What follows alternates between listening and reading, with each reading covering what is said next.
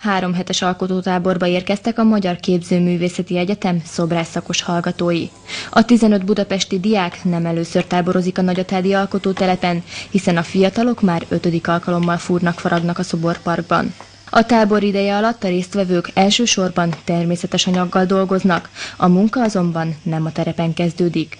A diákok a most készülő szobrok kicsinyített másait hónapokkal ezelőtt gondolatban, papíron és maketten is elkészítették már.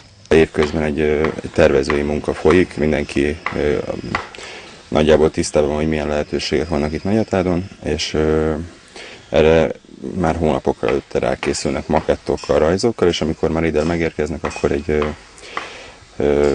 gyakorlatilag már csak a faragással kell foglalkozniuk, és hogy jól érezzék magukat itt Nagyatádon.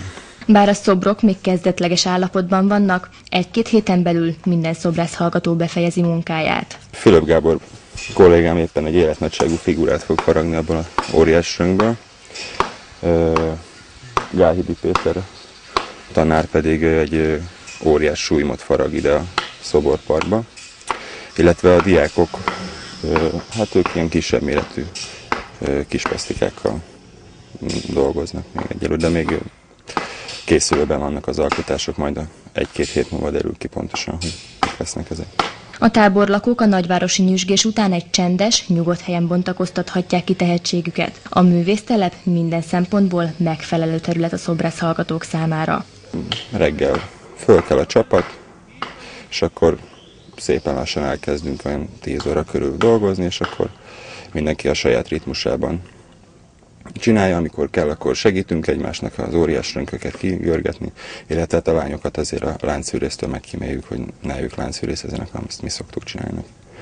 De hát ilyen teljesen családias a hangulat, szóval ilyen ahogy ez művészteletnek működnie kell, így minden úgy működik, minden klappol.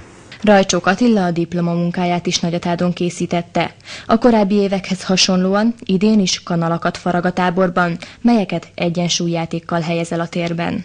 Az én szakmám az kőszobrász, és azért pártoltam át a fára, mert egy élő anyag, és ö, ö, nem, nem az van, hogy ö, ráerőlteted az akaratodat, és akkor az lesz, amit, amit mi akarunk, hanem vissza, visszabeszél az anyag, és elkezd csavarodni, repedni, és ezt így mindig bele kell komponálni a szoborba.